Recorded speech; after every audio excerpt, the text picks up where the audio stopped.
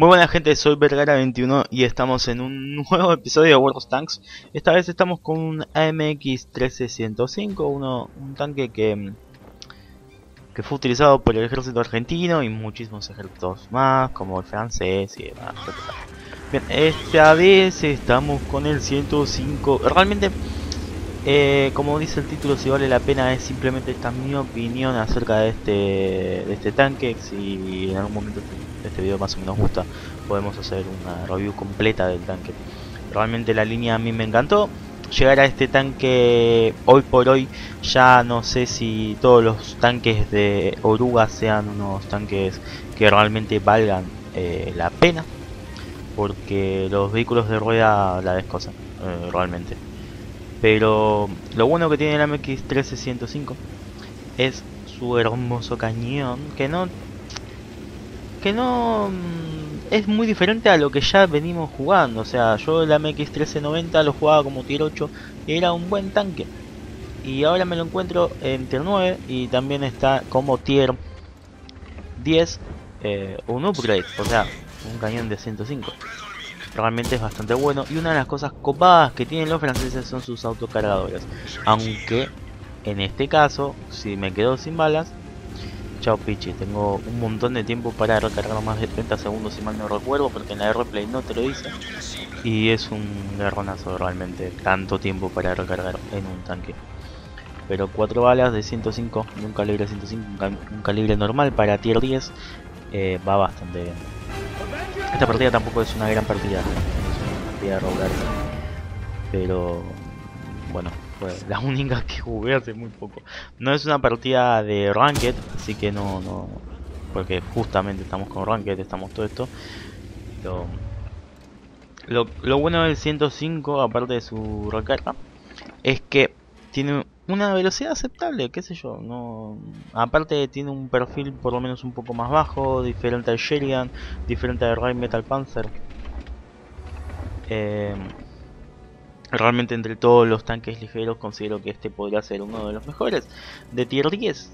Aunque todavía me faltan algunos tanques de tier 10 eh, ligeros eh, poder explorar. Por ejemplo el, el EBR-105, el WZ chino. Me faltan algunos cuantos, el Manticore. Que en esos en la mayoría de esos estoy en tier 8 menos en el, en el vehículo de ruedas que estoy en tier 9. Y me está gustando bastante.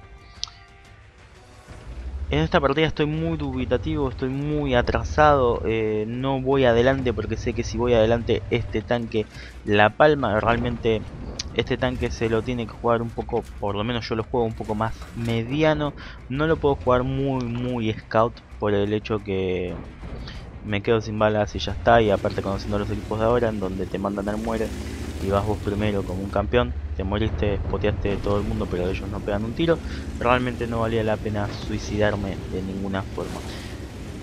Especialmente jugando en server sudamericano, como que es el que estoy jugando. Por eso tengo tan poco ping.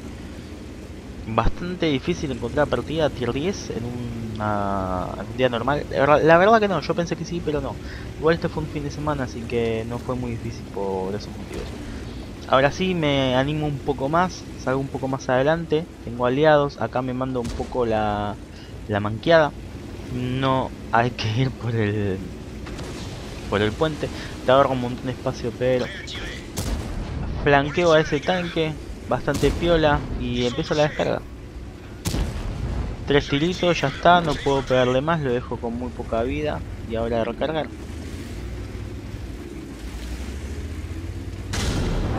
es una de las peores cosas que hay que hacer, esperar a que recargue el tanque actualmente. Es, es un coñazo. Seguimos avanzando, vamos a spotear algo. Porque también la cuestión es spotear, si nosotros nos spoteamos, el enemigo se nos hace con nosotros. Incluso algo que me pasa con la mayoría de los tanques ligeros es que me spotean antes a mí que yo a ellos y no estoy comprendiendo el por qué. A ver, si yo tengo más visión y demás. Pero siempre el EBR 105 es el que spotea todo el campo de batalla y sale indemne, mientras que los los tanques de rueda de de rueda no, de Uruguay no. Usamos un poco de autopuntar, le pegamos unos cuantos tiros al muchacho y nos retiramos. Porque ya está. Ya no tenemos más nada que hacer. Tenemos que esperar a que nuestros aliados vayan.